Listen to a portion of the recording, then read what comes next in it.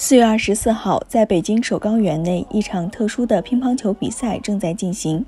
相隔万里，乒乓外交亲历者梁戈亮和前美国乒乓球运动员朱棣通过虚拟现实技术相约球桌。当天，中国人民对外友好协会、国家体育总局和中国美国人民友好协会在北京联合举行中美乒乓外交五十周年纪念活动。中美各界人士约四百余人通过现场与会或线上视频方式参加活动。中国国家副主席王岐山发表视频致辞。五十年前，乒乓外交打开了中美两国友好交往的大门。亲历者李富荣回忆当年情景，仍然心潮澎湃。这样，那个总理呢？呃，在我们出访美国以前，在人大会上接见，啊，呃，强调呢，就说我们要。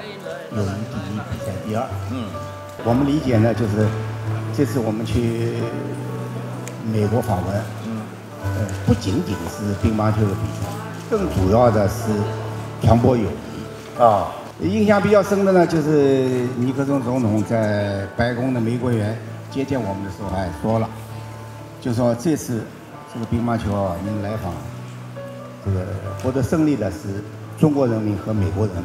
哎。所以呢，这个这个情景呢，回忆起来还是非常的激动。美国前国务卿基辛格也在视频致辞中回忆了当年细节。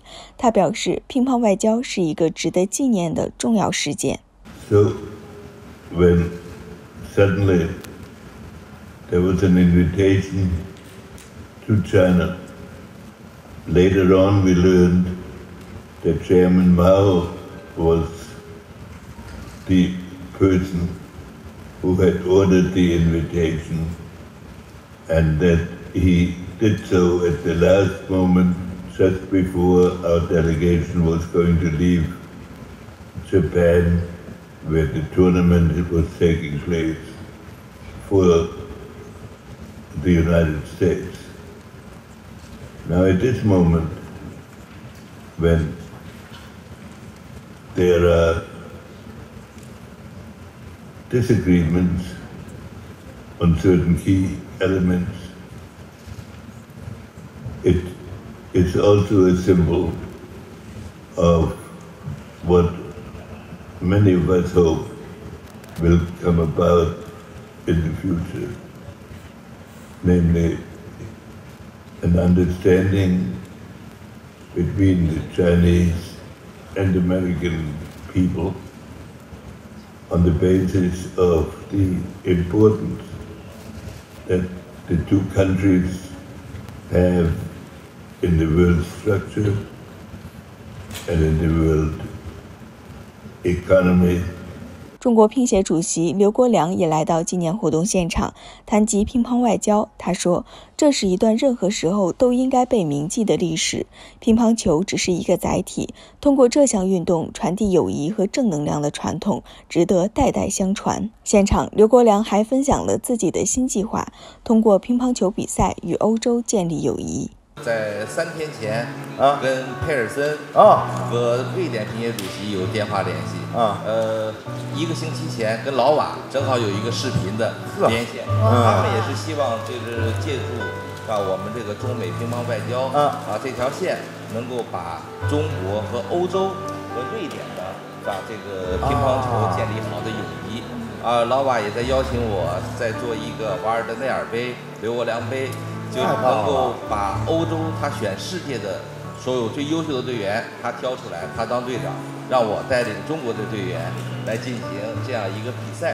当天，中美体育界知名人士姚明、乔梁、陈露、马布里出席活动，表达了通过体育交流推动中美人民友谊的期待。